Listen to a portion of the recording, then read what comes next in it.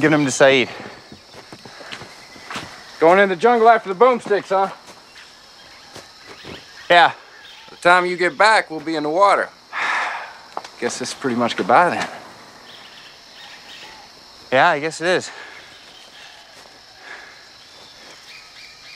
Good luck, Sawyer.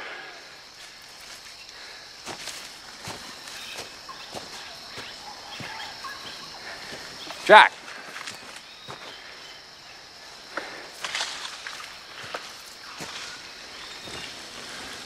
About a week before we all got on the plane,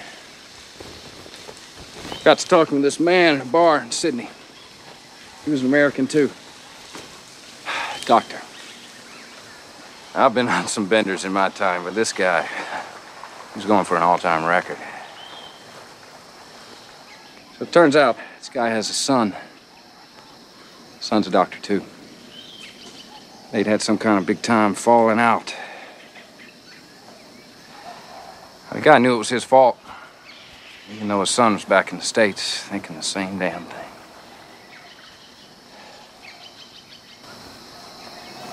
See, kids are like dogs.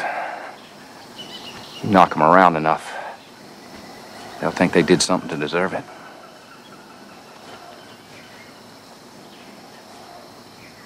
Anyway,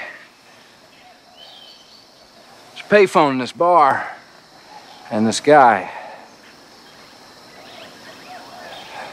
Christian, tells me he wishes he had stones to pick up the phone, call his kid. Tell him he's sorry. He's a better doctor than he'll ever be. He's proud. He loves him.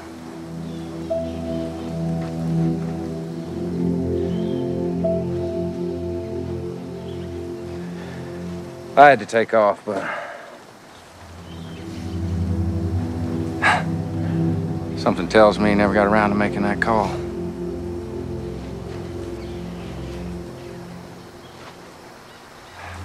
Small world, huh? Yeah.